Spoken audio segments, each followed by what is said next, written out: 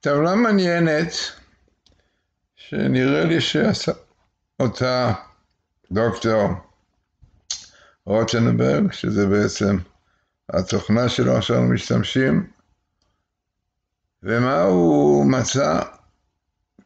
צופן תורה, ואותו דילוג יש בלשון איש, כן?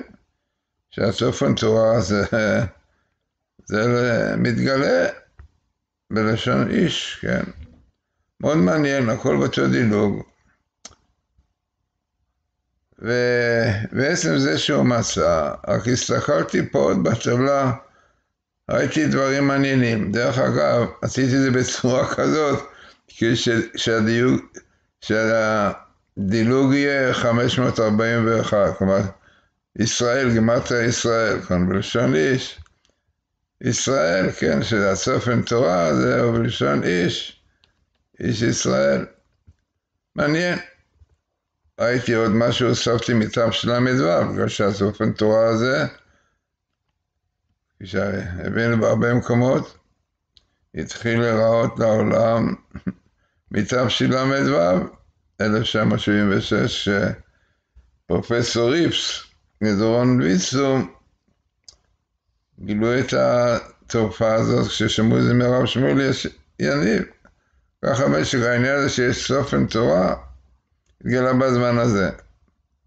אבל מעניין ביותר, שבאותו דילוג של צופן תורה בלשון איש, יש אליהו ריפס, א' ריפס, שזה לא יאומן.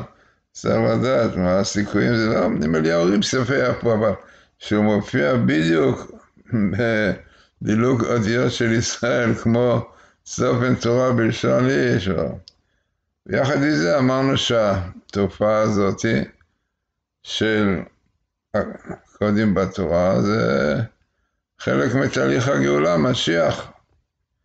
מופיע פה השם, משיח השם אלוקיך, כמו התופעה הזאת. כמובן עם פסוקים שמחייבים אותנו לשמור את המצוות, שמרת את מצוות השם אלוקיך, ללכת דרכיו, ליראה אותו, שמרתם לעשות את כל החוקים ואת המשפטים אשר אנוכי מצווה לכם היום, ממש הדגשה.